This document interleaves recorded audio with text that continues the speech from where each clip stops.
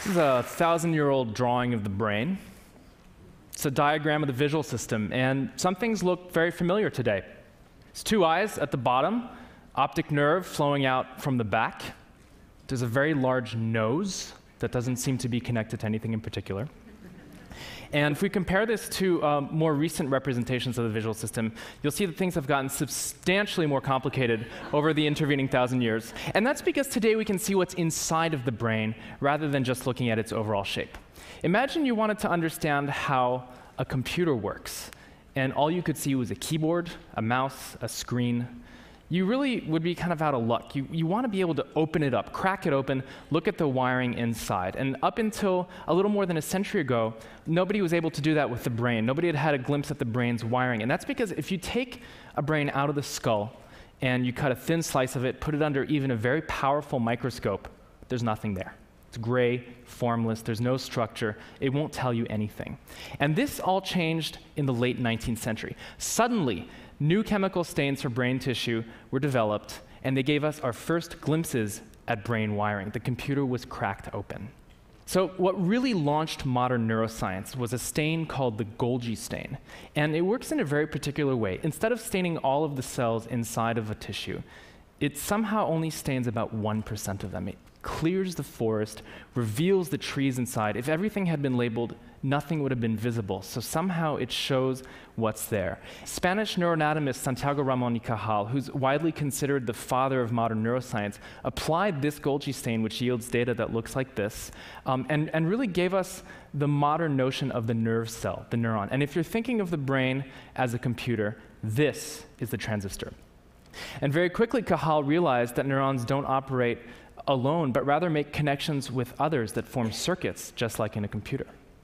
Today, a century later, when researchers want to visualize neurons, they light them up from the inside rather than darkening them. And there are several ways of doing this, but one of the most popular ones involves green fluorescent protein.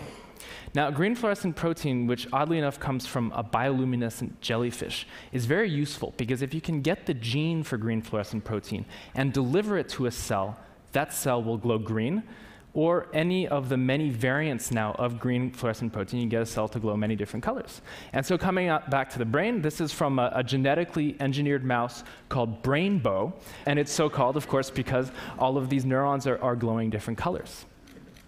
Now, sometimes uh, neuroscientists need to uh, identify individual molecular components of neurons, molecules, rather than the entire cell.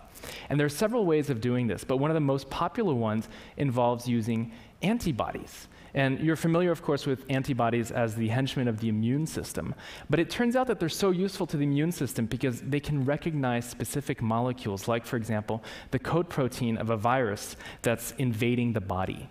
And researchers have used this fact in order to recognize specific molecules inside of the brain, recognize specific substructures of the cell, and identify them individually.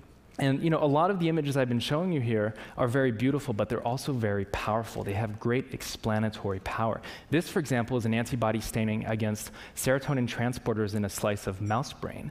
And you've heard of serotonin, of course, in the context of diseases like depression and anxiety. You've heard of SSRIs, which are drugs that are used to uh, treat these diseases. And in order to understand how serotonin works, it's critical to understand where the serotonin machinery is. And antibody stainings like this one can be used to understand that sort of question. I'd like to leave you with the following thought green fluorescent protein and antibodies are both totally natural products at the get go. They were evolved by nature in order to get a jellyfish to glow green for whatever reason, uh, or in order to detect the coat protein uh, of an invading virus, for example. And only much later did scientists come onto the scene and say, hey, these are tools, these are functions that we could use in our own research tool palette. And instead of applying feeble human minds to designing these tools from scratch. There were these ready made solutions right out there in nature, developed and refined steadily for millions of years by the greatest engineer of all. Thank you.